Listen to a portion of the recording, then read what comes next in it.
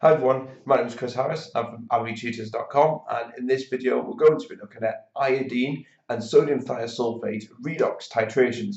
Now this video is basically going to look at like I say this specific type of titration, the iodine and sodium thiosulfate one and we're going to go through the key steps needed to work out what can be quite a long calculation process but through each step I'm going to uh, guide you through it and I'm going to explain why we're actually calculating these numbers and I've got some diagrams as well to help illustrate what's actually happening. Okay, so the main reason why we're actually doing these titrations is to work out the concentration of an oxidizing agent. And in this case, the oxidizing agent we're going to be using is potassium iodate, which is KIO3. So the first thing we're going to do is we're going to go through the steps first, and then I'm going to show you, um, go through like a worked example and show you how you can calculate it. So, like I said, the key aim is to work out the concentration of the oxidizing agent. In this case, it's this. The first thing we do with this reaction is we set up the reaction to oxidize as much I minus ions to I2 as we possibly can. So this is the reaction that we've got here. So this is IO3, which is our um, iodate ion, uh, and this has come from potassium iodate. This is our oxidizing agent, and what this is doing is it's oxidizing I minus uh, to form I2. So I minus is colourless, uh, and this is acidified, and so that's why we've got 6H plus there as well. Uh, and this is going to form iodine, which is like a brownish colour uh, in solution, like a dark brown colour. And we're also going to form water as well. Now, with this reaction, we have to have a fixed amount of the oxidizing agent. So I've said here that we put in 25 centimeters cubed of oxidizing agent um, and we add excess iodide ions. And basically what's going to happen is the iodate will oxidize um, as much as it can um, the iodide some of the iodide ions to iodine, and that's the first reaction you do without any titration involved whatsoever. Um, so then what we do after that is then we take this solution here and we titrate it with sodium thiosulfate. Now sodium thiosulfate is used because it will react with I2 which is the iodine which you produced in your previous reaction, and it will reduce it um, down to I minus again, and uh, you'll see a colour change. It will start to change colour, and this will go to like a very pale, almost colourless solution, very, very pale yellow solution.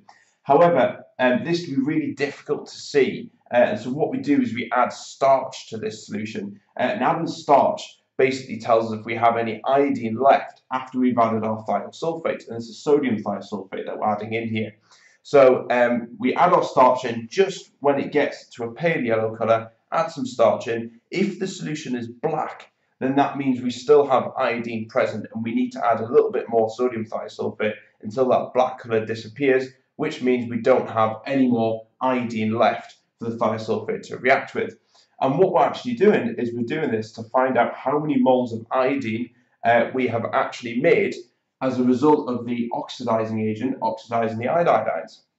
And what we can do is we'll have the thiosulfate, we'll know the concentration of the thiosulfate. In this case, I'm going to use 0.1 moles per dm cubed.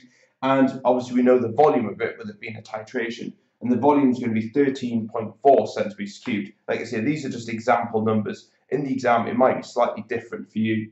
Okay, with these numbers, what we can do is work out the number of moles of thiosulfate, and that's exactly what we're going to do here. So you can see we've got a volume, we've got a concentration. So the moles of thiosulfate is effectively the concentration times by the volume, and the volume is got to be in decimeters cubed, remember, so we need to take this and divide this by 1,000 to get it into decimeters cubed, but our concentration is effectively uh, 0.1 times by 13.4.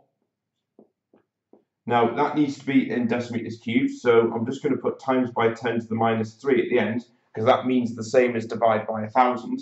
Uh, and effectively what we'll get is the number of moles of thiosulfate. And the number of moles of thiosulfate is 1.34 times by 10 to the minus 3. Okay, right, now once we've got that, now what we can do is we can work out the number of moles of iodine um, because we need to relate this back into our original equation when we come onto it in step three to work out the number of moles of this and then work out the concentration. So that's why we're working out the number of moles of iodine.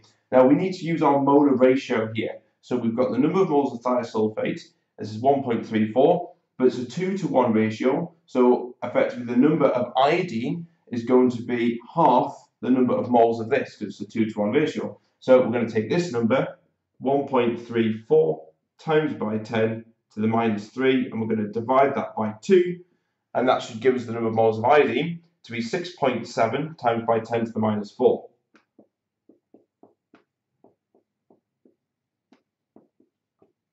And that's moles.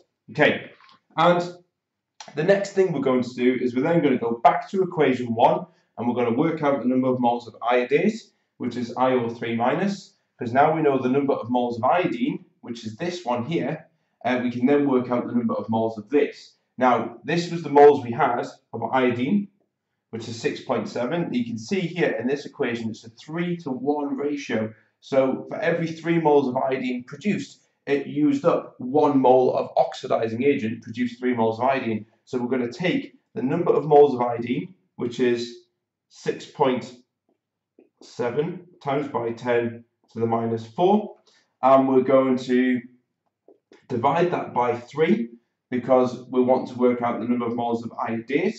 Uh, so we put that in our calculator. Uh, we should get 2.23 times by 10 to the minus 4.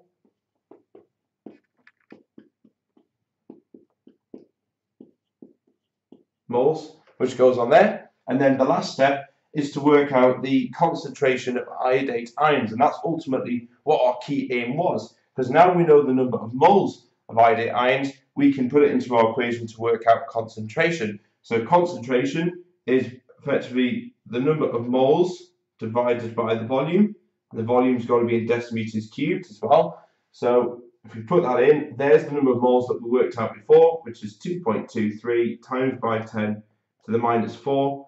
Uh, and we're going to divide that by the volume. And our volume is 25 centimeters cubed of oxidizing agent. So I'm going to put 25 on there but that has to be in decimeters cubed, so we're going to divide that by thousands.